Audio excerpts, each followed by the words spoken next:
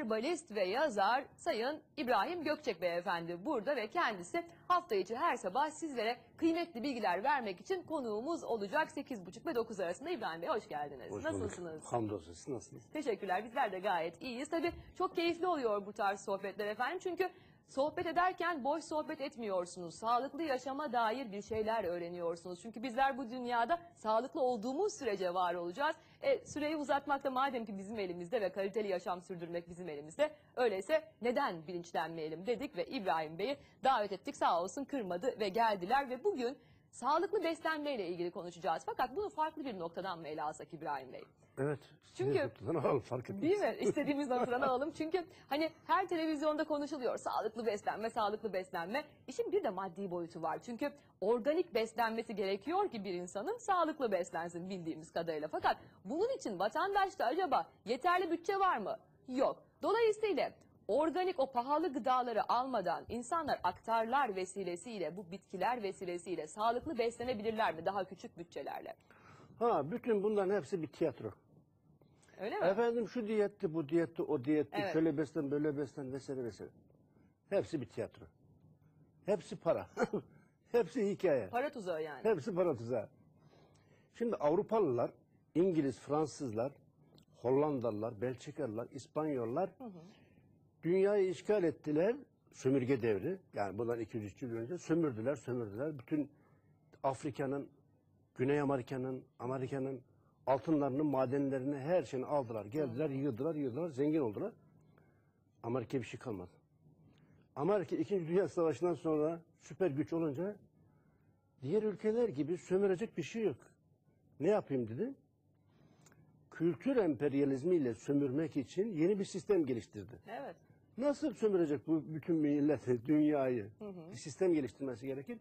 Yeni bir beslenme tarzı ortaya çıkardı. Fast food tarzı. Yani boğazındaki lokmayı yönettiğim insanı yönetirim.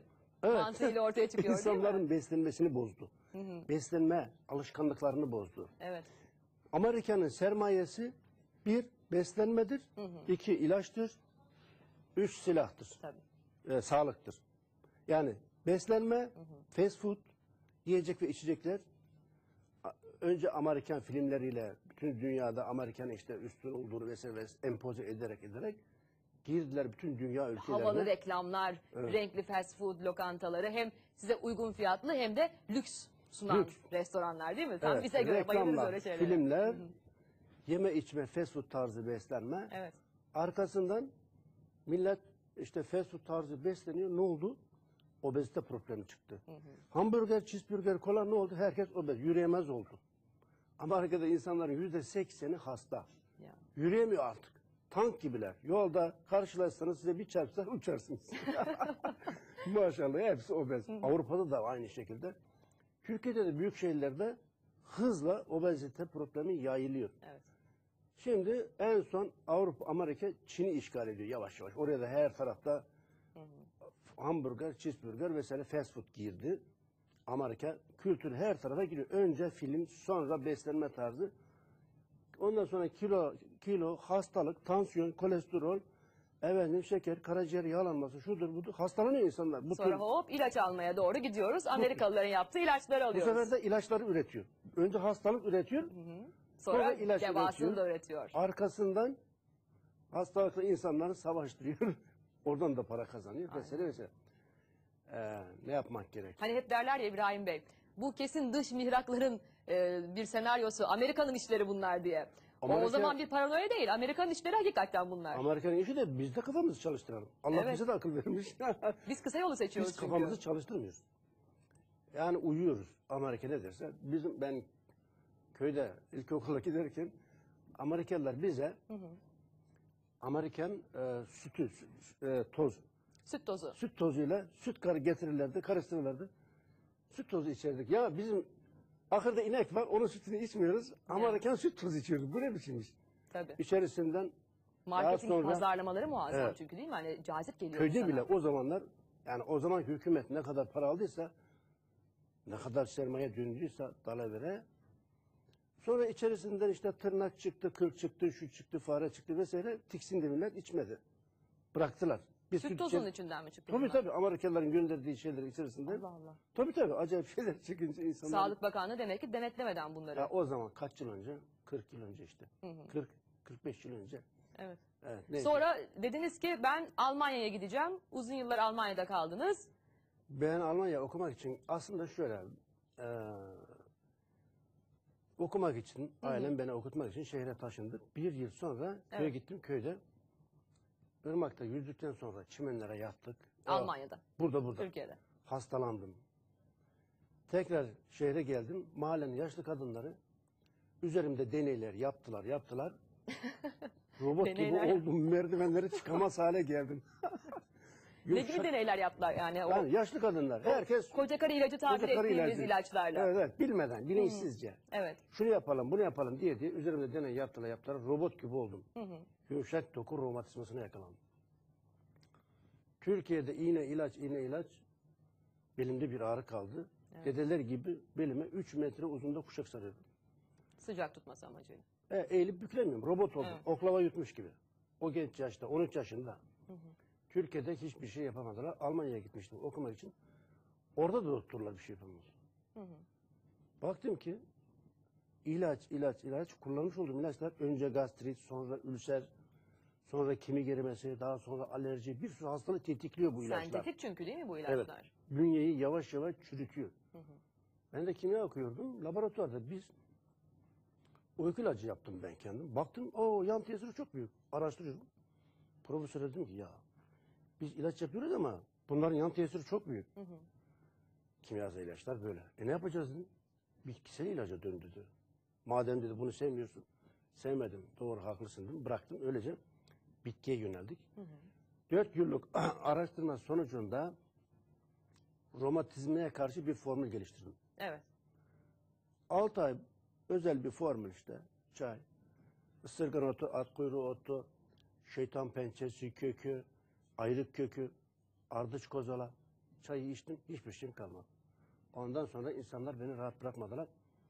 Benim bu hastalığım var, o dedi benim bu hastalığım var, şudur budur. Herkes doktora gidiyor. 10 yıl, 15 yıl, 20 yıl ilaç, ilaç, ilaç. Bir hastalığı varsa 20 hastalık ortaya çıkıyor. Yani o zaman sağlık sektörü kapitalist rejimin elinde olduğu için aslında çok da hareket alanı yok ve sentetik e, ilaçlara yöneldikleri için de bir taraftan iyileştirirken bir taraftan bozuyorlar. İyileştirme yok. Hep kötüleştirme. Hep kötüleştiriyor. Eyvah. E o zaman şimdi tabii buradan yanlış mesaj da vermeyelim. Tıbbı e, tabii ki kötülemiyoruz. Tıbba güvenmek lazım ama alternatif Tıp- tıp, anlamında da Herhangi bir ameliyatta tabii ki gerek- Evet. gerekli. Ben Hayman'a kaplıcalarına gitmiştim. Otelde yer bulamadım. Pansiyonda kaldım. 6-7 yaşlı amcalar sohbet ediyoruz. Biri dedi ki dur hapımı alayım dedi. Elini buraya attı. O karaciğer geri koydu. Oraya attı tansiyon. Buraya attı Eyvah. depresyon. Oraya attı romatizma.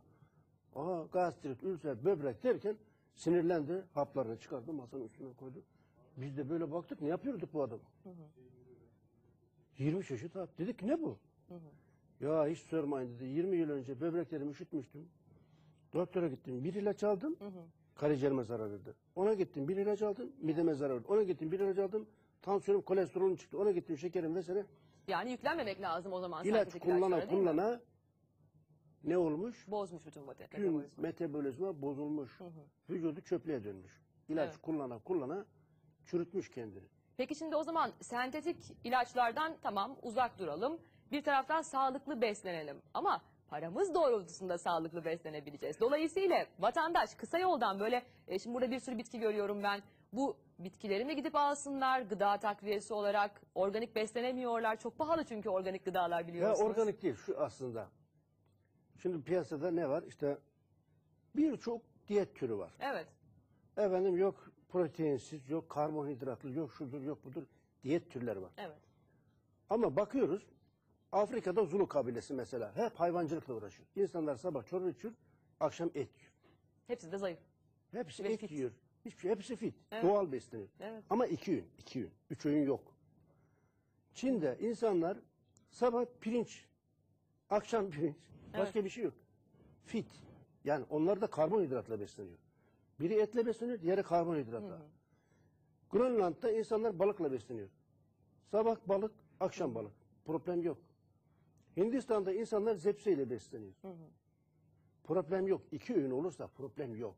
Biz sabah sucuk, öğlen e, şey e, bana bana yediğimiz e, farklı kuru fasulye pilav, cacık. Akşam et bir daha tavuk. Ya problem şu. Her şeyi karıştırıyoruz. Köydeyken biz de iki öğün besleniyorduk. Evet. İki öğündü. Sabah çorba veya kahvaltı, Evet. akşam yemek, öğle yemeği yok. Öğlen ara öğün mü yapacaklar? Ara, ne ara yapsınlar? öğün yok. Meyve mi yiyecek? Hiçbir şey yok. Ama şeker İki öğün. düşüyor insanda. Hani başımız dönmeye başlıyor öğlen yemek Alışkanlık zaman. meselesi bu. Öyle mi? Alışma, Vücudu alışma, şartlıyoruz biz alışma. sadece yani. Peygamber Efendimizin peygamber diyeti diyeceğim ben buna. Yeni bir diyet türü. Öyle mi? Şimdi mi bulduk? Peygamber Efendimiz hayatı boyunca evet. asla üç öğün yememiş. İki öğün. Dünyada da insanlar bu Amerikan kültürü yerleşmeden önce hep iki öğün yemişler. Üç öğün sonradan çıktı. Üç öğün yediği zaman ne oluyor? Şimdi yemek yediniz, pankreas ne yapıyor? Pankreas insülin salgılıyor. İyi insülin salgıladığı zaman Evet. ne oluyor?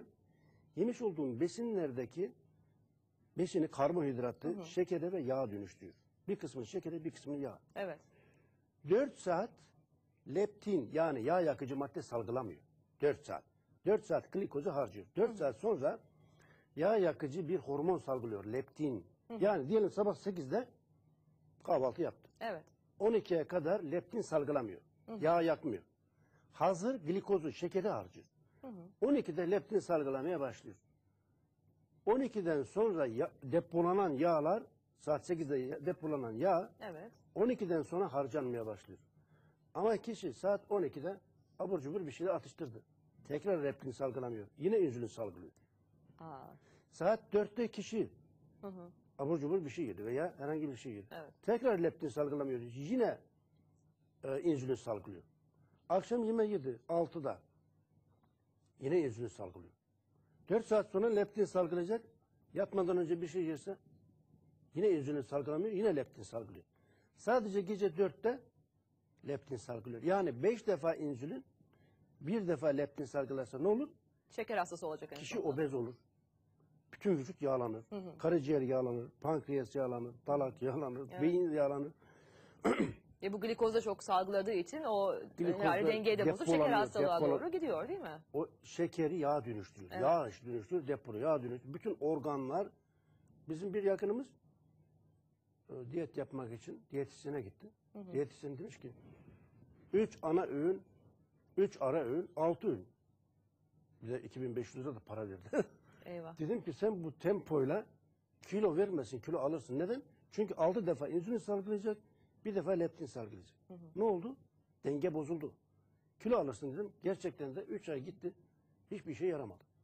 Boşa gitti parası. Oysa sünnete uygun beslense, peygamberimiz ne Evet ne yapmış? yapması gerekiyordu? Sabah kahvaltı, akşam yemek, öğle ara öğün yok. Bitti. Çünkü saat 12'ye kadar glikozu harcıyor, vücudumuz şekeri harcıyor. 12'den sonra leptin salgılamaya başlıyor. Bu hormon yağları yakıcı. Yağlar yanmaya başlıyor. 6'ya kadar yağ yakıyor. 6'da tekrar yemek yediğinde tekrar insülin. 10'a kadar ondan sonra tekrar leptin. Ne oluyor? Bir kişi isterse 150 kilo olsun.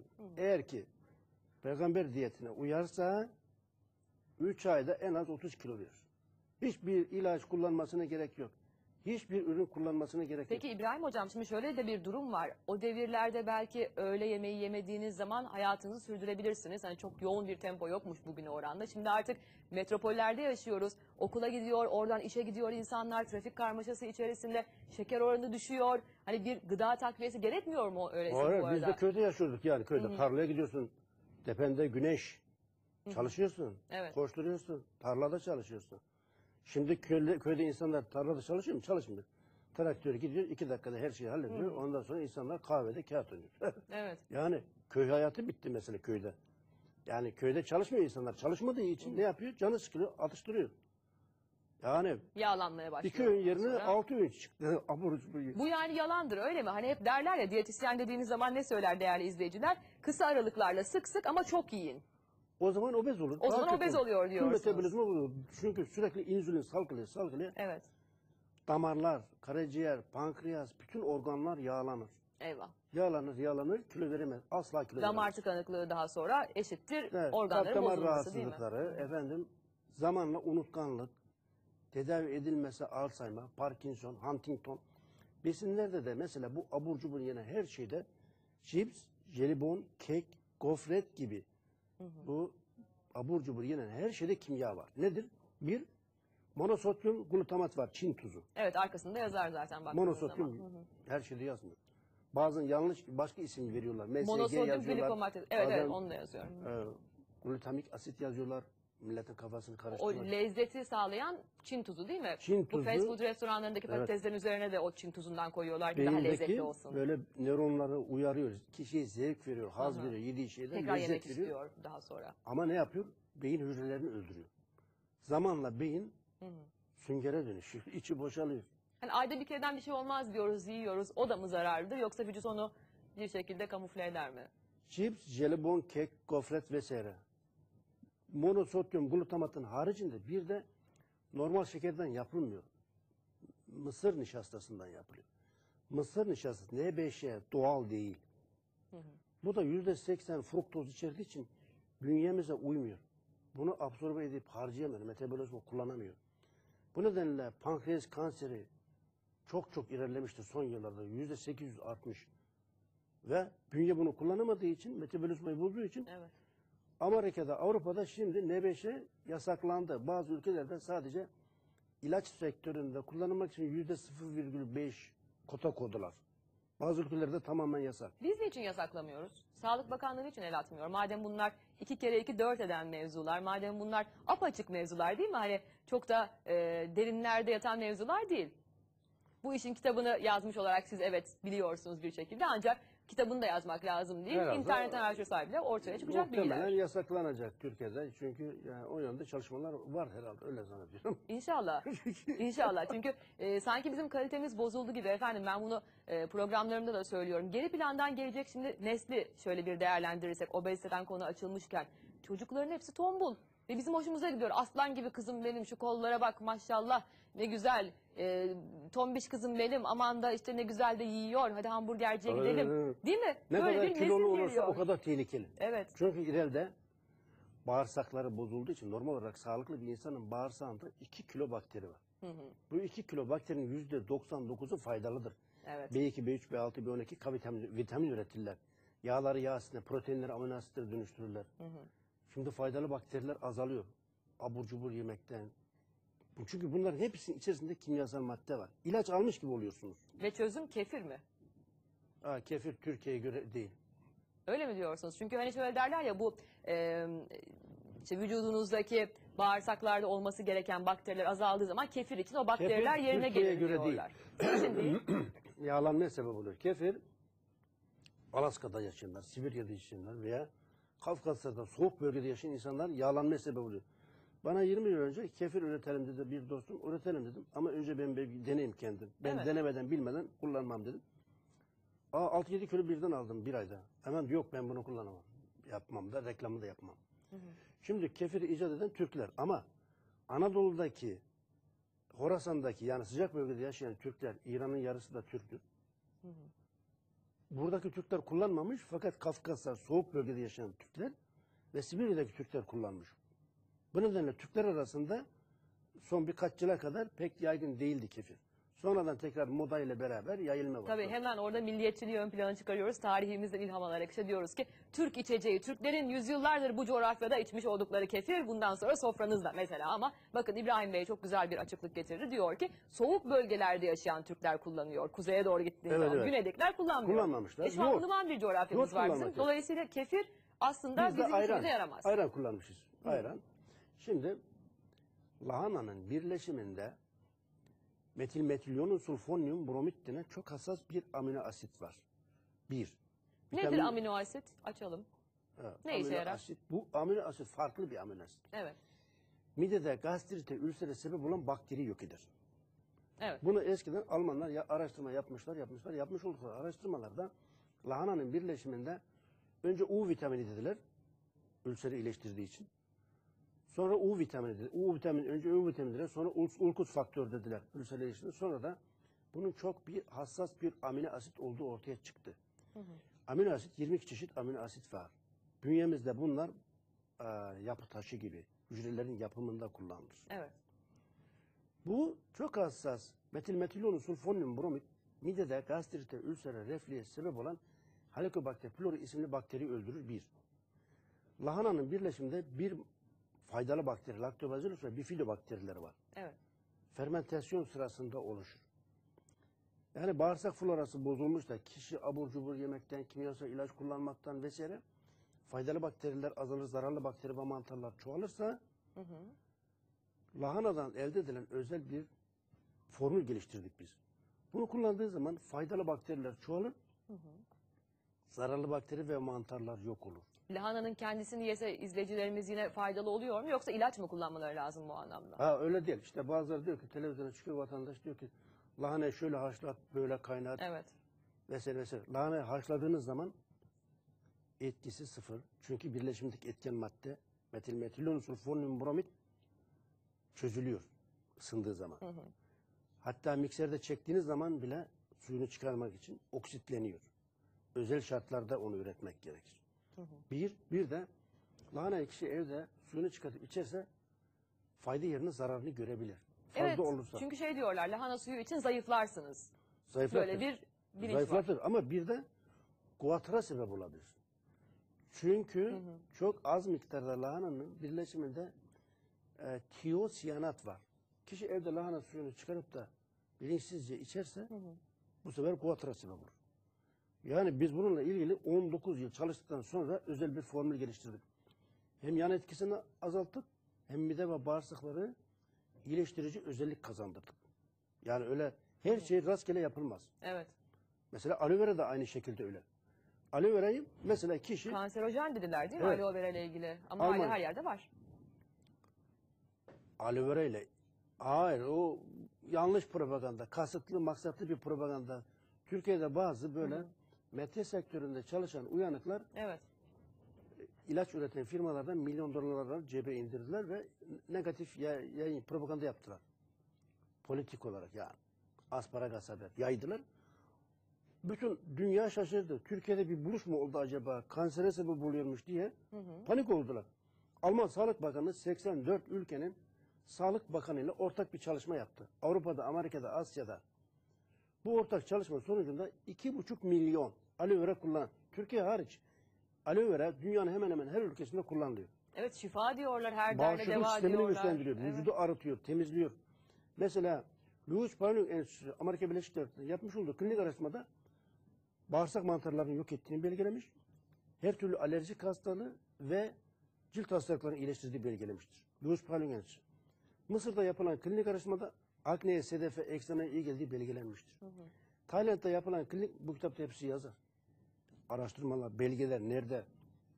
Mesela burada mesela zencefille ilgili klinik araştırma var. Evet. Burada ketenle ilgili klinik araştırmalar var.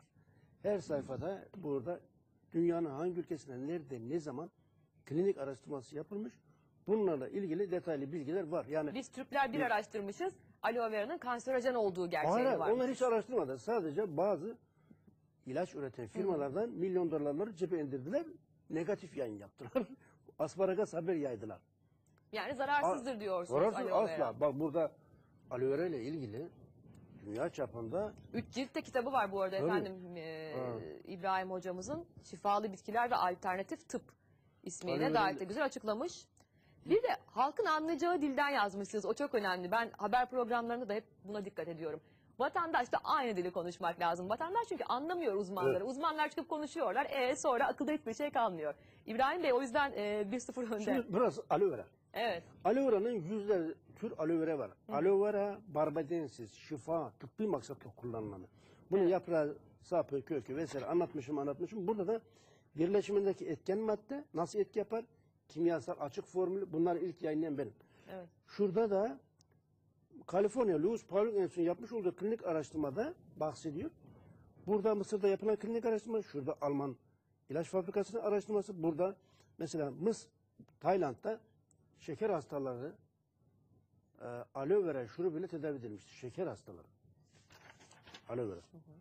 E, burada Fukushima Üniversitesi bu Hiroşima, Almanya, Amerika, Evet. şey, Japonya'da atom bombası atılan yerde Fukushima Üniversitesi aloe vera ile ilgili yapmış olduğu araştırmada aloe vera'nın e, hücre yenileyici, antioksidan, anti-aging olduğunu belgelemiştir. serbest radikalleri yok ediyor. Ne demek serbest radikalleri yok etmek? Serbest radikal süper oksitler, oksitler vesaire metabolizma e, vücudumuzdaki olan o, Bizi oluşumlar o çürüten, sırasında oksitlenmeden yola çıkarak Oksitlenme. anlayabiliriz değil mi bunu? Evet. Demir serbest çürür saldırgan. mesela. Aynı serbest radikali kuduz köpeğe benzetebiliriz. Evet. Saldırıyor ne varsa vitaminler, mineral, enzimleri parçalıyor, zarar Hani veriyor. pekmen oyunu vardı böyle pekmen gelir de e, yer böyle Evet, bildiğiniz değil mi? O şekilde Serbest- vitaminlere evet, ya da her şeyi- faydalı her şeye yiye yiye gidiyor. Diyor, bu zarar veriyor. Vücudu kişiyi hız, hızla aa, yaşlandırır. Hızla. Aloe vera da geliyor o böyle yerken diyor ki sen ne yapıyorsun bakayım diyor. Başına vuruyor öldürüyor onu öyle mi? Bu anlamda işe yarıyor. Anti-aging özelliğe sahip. Hücre yenileyici, antioksidan, serbest radikaller yok edici aloe vera. Bu Fukushima Üniversitesi'nin yapmış olduğu klinik araştırmalar belgelenmiştir. Belge var, bilgi var. Evet. Ha, ben pazartesi en iyisi size bir aloe vera getireyim burada. Evet getirin. Ee, yaprağını, çiçeğini göstereyim. Hı hı. Çünkü aloe vera ile e, ilgili bir yazı bulunan üzerinde hiçbir ürünü almıyorum. Annem bana tembihledi. Aloe vera kansero- kanserojenmiş sakın alma. diye Ay, hemen geri bırakıyorum. O asparagas haber yapan televizyoncular malum. Birisi Evet. artık televizyon programı yapamıyor. Öyle mi? Rezil oldu. Diğeri de bitti. Evet. Ha, bir- bu haber üzerine dünyada Alman Sağlık Bakanlığı iki buçuk milyon 84 ülkede aloe vera kullanan insanla birebir soruşturma sonucunda hiçbirinin yan etkisinin olmadığı belgelenmiştir. Şimdi Japonya'da Japon Kanserojen Araştırmaları Enstitüsü dünya çapında kolon kanserine yakalanan 763 bin hasta üzerinde araştırma yapmış. Yani sağlık örgütü, Dünya Sağlık Örgütü ile birlikte. Yapmış olduğu araştırmada kolon kanseri olanlarda kanserin sebebinin kabızlık olduğunu belgelemiştir. Çünkü Kabızlık. orada da bağırsaklar emilim yapamadığı için değil mi? Doğru gıdayı ayrıştıramıyor. Çünkü bildiğim kadarıyla şimdi benim anneannem de beslenme uzmanı olduğu için anlatır bize tabii sizin kadar derin bilgi e, hiçbirimizde yok. Ancak hani e, bağırsağın e, duvarına yapışmış olan kalıntılar bakterilerin ağzından ötürü emilim sağlanamıyor bildiğim kadarıyla ve kolon kanserine sebebiyet veriyor. doğru ben- biliyorum bilmiyorum Doğru ama. evet. Bir insanın bağırsağı futbol sahasının yarısı kadar. 350 metrekare ve aynı çim saha gibi, halı gibi. Evet. Nasıl ki halının üstünde iplik var, bağırsakların üstünde iplik gibi kanallar var. 2 milyar. Besinlerdeki vitamin, mineral, enzim absorbe eden. Siz pazartesi bir e, bağırsak da getirin. Ona da bakalım şöyle bir. Bağırsak getirelim olur. Şimdi kabız olursa kişi Evet. burada bağırsağın üstünde zif gibi kalırsa defa, Yani, defacet Özür dileriz ama dışkı kalıyor dışkı, yani evet, değil mi? defacet burada bağırsağın üstünde zif gibi yapışık kalıyor. Evet. Kişi bazıları bir hafta iki hafta tuvalete çıkamıyor. Ne olur? Kahvaltı haberlerini izliyoruz. Yani izleyiciler var. Ama hayatın gerçekleri bunlar. Yani konuşmadan da olmaz ki değil mi? Evet yapışıyor zift gibi. Mantar ne yapıyor? Bunu toksik maddeye dönüştürüyor. Etan, metan, bütan gibi zehirli gazlara, etil alkol, metil alkol, bütil alkol gibi zehirli alkollere. Bu toksik maddeler bağırsağı yakıyor yavaş yavaş. Eyvah. Bağırsak yanarsa ne olur? Önce kolit, kalın bağırsak iltihaplanması. Sonra ülseratif kolit, kalın bağırsak yarası. Sonra kolon kanseri olur. Kabız olan kişi sonunda öyle hafif almamak gerekir kabızı. Kabız olan kişi sonunda kolon kanserine yakalanır. Yani dışkıyı incelemek lazım bu anlamda değil mi? İnsanın sağ, sağlıklı insan affedersin ama sağlıklı dışkısı oluyor. Doğru mu? Tabii. Değil mi? Hani oradan da anlayabiliriz. Eğer ki kabızlık varsa, eğer ki herhangi bir sıkıntı varsa tuvalete çıktığınız zaman anlayın ki bir şeyler yanlış gidiyor. içeride. Yani normal olarak eee, günde bir veya iki defa lavaboya gitmek gerekir defacet. Yani Evet. eğer ki kişi iki günden, üç günden fazla gitmiyorsa onda problem Bir var. şey var demek. orada. Yani, Peki. evet. İbrahim Bey o zaman burada bir virgül koyalım. Pazartesi tekrar devam edelim. Bu konu çünkü çok heyecanlı bir konu ve uzun uzadıya da biraz konuşulması gereken bir Evet, mevzu. keten Üzerinden atlayıp tohumu var. geçmemek Mesela bu lazım. şu çiçeğini gördüğümüz Evet. bu keten çiçeği. Bunun keten tohumu kabızlığa karşı dünyada en etkili bitkidir. Onunla ilgili pazartesi Tamam. buradan tohum getireyim. götüreyim. Pazartesi aynen öyle aloe vera getiriyoruz. Keten tohumu getiriyoruz, inceliyoruz. Bir de bağırsak inceleyeceğiz. Onun da sözünü aldık buradan İbrahim Bey'den. Peki Sayın İbrahim Gökçek Beyefendi'ye çok teşekkür ediyorum. Ne kadar güzel yaptı, renk kattı programımıza. Hani siz yeter ki sorularınızı yöneltin, gönderin efendim. Bizler burada seve seve sizlere zaten bilgilendiriyor olacağız. Değil mi? Zamanımız el verdiğince. İnşallah. Peki. İbrahim Bey tekrar görüşeceğiz. Efendim